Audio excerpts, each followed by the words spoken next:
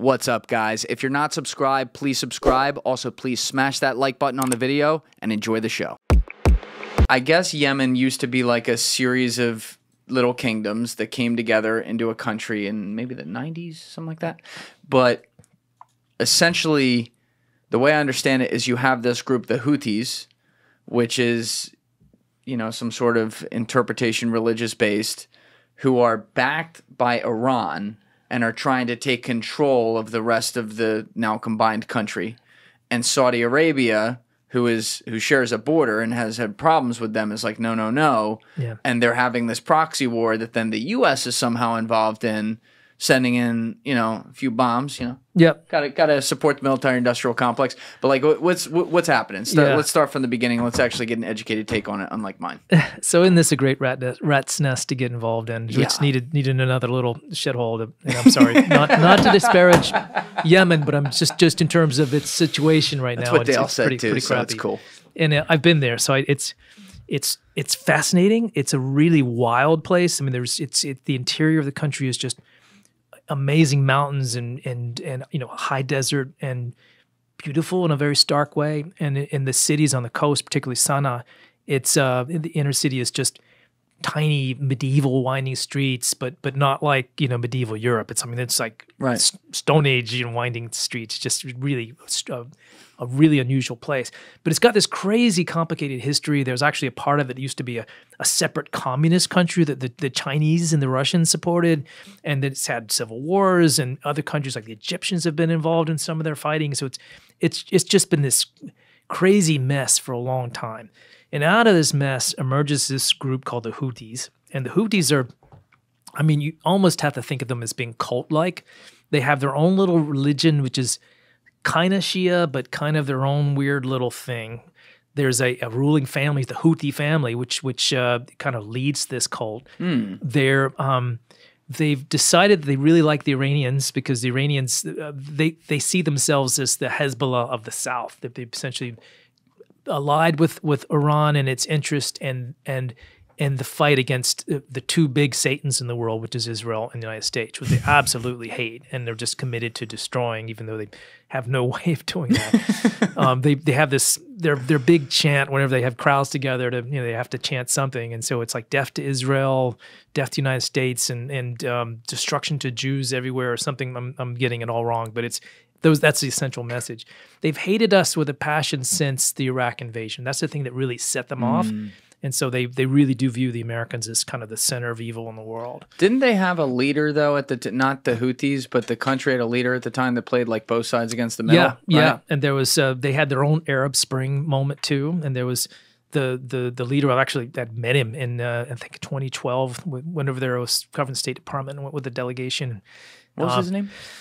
Oh, you're gonna you're gonna stump me on that now. Oh, but he was um, he ended up getting sick and, and died. Um, but uh, he was beginning to have to deal with this this issue at the time of the Houthis kind of taking parts of the country and becoming a threat to the region because as we've mentioned they they don't like the Saudis the Saudis don't like them so a war broke out in which Saudis and the UAE together tried to fight the Houthis and ended up not really succeeding and, and, and sort of backing out of it. Um, the Americans supported the Saudis and the, the, the Emiratis with weapons and, and money, uh, mostly with weapons, selling them weapon systems. Guys, if you'd like to join our Patreon by hitting the link in the description below, not only does it support our show and allow us to get great guests like this and put out more content, but you're going to get exclusive access to the Julian and Alessi show, which is the show we post only on Patreon. That's with my producer, Alessi Allaman, and I, as well as some behind the scenes content and some extra content with guests. So hit that link in the description below, and I hope to see you over there. But it, the Saudis now look at it as, as just a disaster. They don't want anything to do with fighting the Houthis anymore, even though they're vastly bigger and and uh, and one of the wealthiest countries in in in, in the world.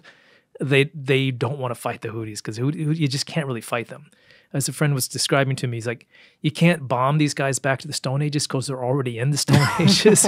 so there's there's really almost no leverage against them. Uh, they they see an opportunity after the after the Gaza crisis. Uh, to fight the, their big enemies, Israel and America, and so they they How? do, they they're just mostly sim- well, I was going to say mostly symbolically because they obviously can't do a lot of damage to us or to to to the Israelis, but they can they can shut down shipping because they happen to be right there in this little mm. crossroads of the world where where much of the oil tanker traffic goes. Oh, was there a vi- Alessia? Can you go to YouTube real quick? I think there was a video recently from the Wall Street Journal. Type in Wall Street Jour- Journal most dangerous shipping port in the world.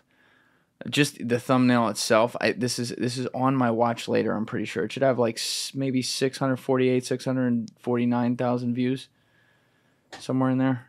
Do you see it? Yes, that one. It. Yeah. yeah, yeah.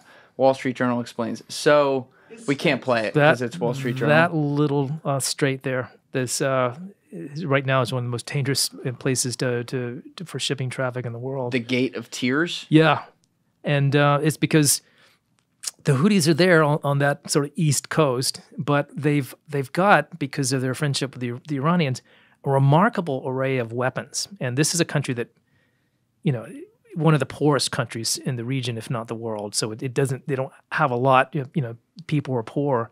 But the Iranians have given them some pretty impressive weapon systems. So they've got something like six kinds of anti-ship missiles, some some cruise missiles, all kinds of drones. Uh, a lot of these are Iranian either gifts from the Iranians or the Iranians have, have showed them how to make them, essentially help them create their own factories to make them. So they have a pretty robust armament industry, all of it, you know, aimed at being able to sort of take out boats um, and other things that they see as, as threats to them. Just today, and this is, we're doing this on the 22nd of March, they, they launched a missile at uh, at Israel that actually apparently struck Israel Israeli territory, and it didn't hit anything. It apparently landed in a desert area, and it'd be typical of the, of the Israelis. They're watching it come in. They see it's just gonna land harmlessly. Why do you waste a, a Patriot or, or, or, or an Arab, you know, or Arrow anti um, anti ballistic missile system to you know by trying to take it down if it's just going to be landing harmlessly. But as far as I know, that's the first time that one of their missiles have actually hit Israeli territory. Thank you for watching the video, guys. If you haven't already subscribed, please smash that subscribe button and check out this clip's full podcast episode by clicking here or in the description below.